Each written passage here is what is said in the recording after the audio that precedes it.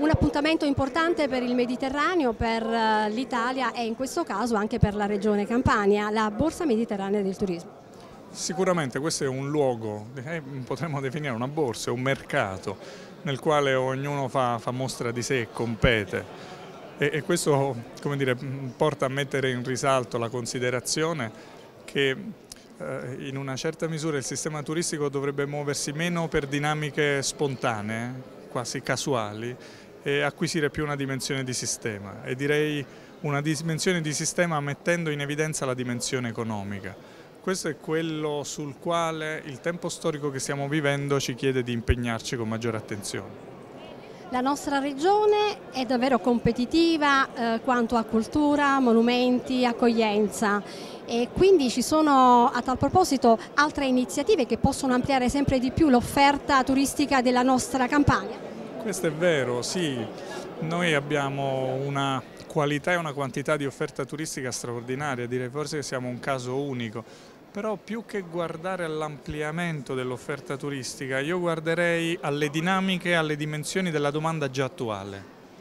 Per certi versi su alcuni settori, su alcuni mercati, per alcuni sistemi, noi non abbiamo il problema di aumentare l'offerta, abbiamo il problema di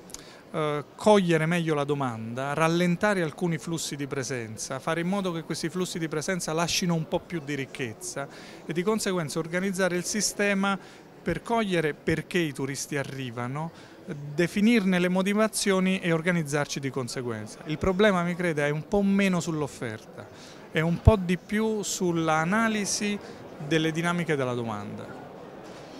Visto che rappresentiamo un programma che si occupa di turismo in camper, lei parlava di flussi di presenze, che cosa ne pensa di questo turismo? Guardi,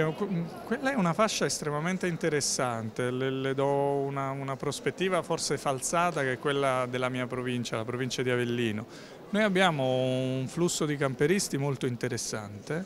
eh, non siamo sempre organizzati per uh, raccogliere questo flusso, non siamo sempre ben organizzati per fare in modo che questo flusso lasci un po' più di ricchezza sul territorio, lo sfrutti di meno, se mi consente, eh, dal punto di vista delle bellezze naturali, ne colga un po' di più la dimensione intima, quella umana, resti un po' di più... Uh, e, e, questo sta a segnalare come la questione non è sull'offerta, la campagna ha già un'offerta enorme, la questione è comprendere la domanda e comprendendo la domanda fare in modo che questa diventi un valore economico un po' più alto per il nostro territorio. Senza dubbio il nostro turismo è portatore di ricchezza, l'ha anticipato anche lei prima e a tal proposito state pensando di organizzarvi meglio per garantire un'accoglienza migliore, come appunto diceva, a chi pratica il turismo in campo? Sì, questo sì, guardi, proprio nelle aree interne, la consapevolezza che sta maturando nel corso di questi ultimi anni di come il fenomeno camperista